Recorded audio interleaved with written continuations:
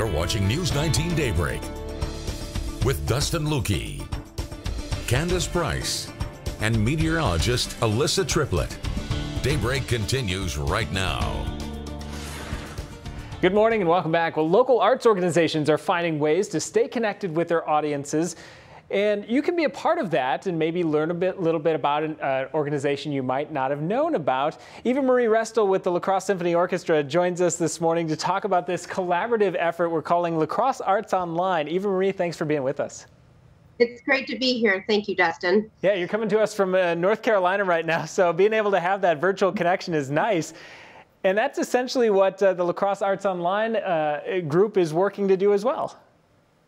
That's right. That's right. The arts groups in La Crosse all came together as soon as this happened, knowing that the arts just uh, bring a lot for our community and also that the community supports the arts so um, so well and uh, we love our community and we thought we could do something for our community to give back during this really tough time for everyone.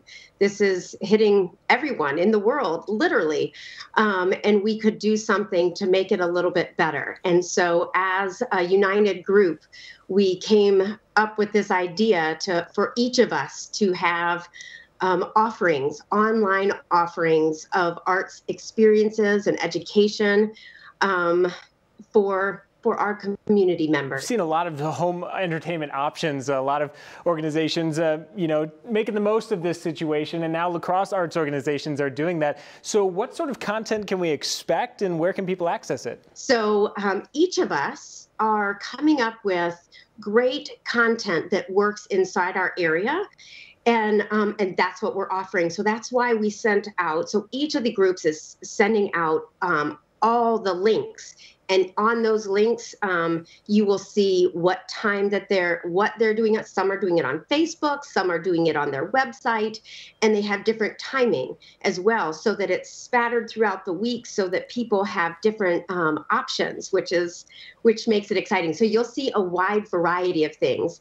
Um, as for the symphony we are going to be offering 30 days of symphony starting on this thursday and Alexander Platt um, has been wonderful learning how to use an iPhone. I'm so proud of him.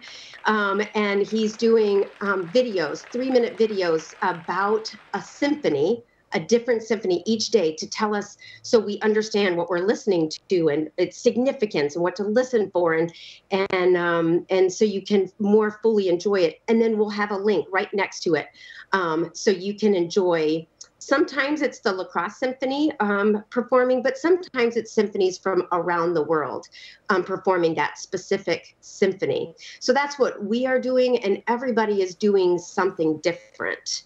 Yes, and I will certainly be taking advantage of that when that's uh, live this Thursday, you mentioned. Uh, and we will keep uh, folks updated as well. Uh, you can go to our website, wxow.com, for a list of all of these as they're coming out. Eva Marie, thank you for being with us to talk about this uh, great collaborative, La Crosse Arts Online. Thanks so much, Dustin. You have a great day. You too. Alyssa, over to you. Well, thanks, Dustin. We continue to see these frigid cold temperatures dominate the region, but will the sunshine warm us up? We'll have the details after the break.